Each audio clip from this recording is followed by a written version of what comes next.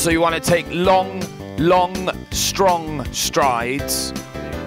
Put your hat, put your shoulders back, your chest out, your chin up. Yes. Take long strides, walk forward. That's it.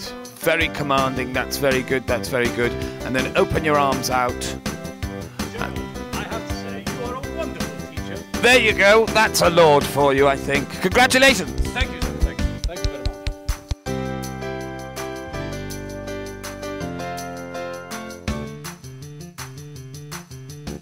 So we need a much bigger stride. So you need to open your legs slightly because you, you, obviously you've got quite a lot to carry, and your legs are. No, I don't mean on the. I don't mean on the belly.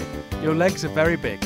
So we want a nice, slow, dramatic, stompy walk straight down, straight down here. And then when you get to halfway, I want you to give it a really big bend of the knees, and then open your arms at the same time as you come up and give it a massive roar. Let's see how we go. Right, here we go. Here we go, people.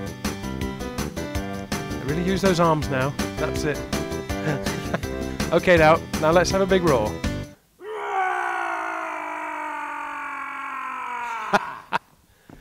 I think I'm out of a job.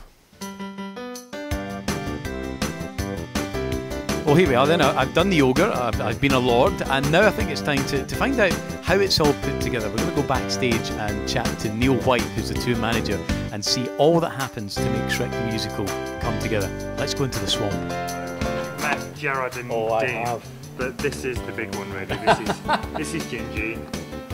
Um, she's like takes most of the show, so she is the star. Really. Good enough to eat. Yeah, yeah. We don't need the makers. Pass yourself by. Those are Lord Farquaad's tights. well, you saved a bit of uh, costume materials there with the, the, the small a- size. Just a little bit. A Shrek bump.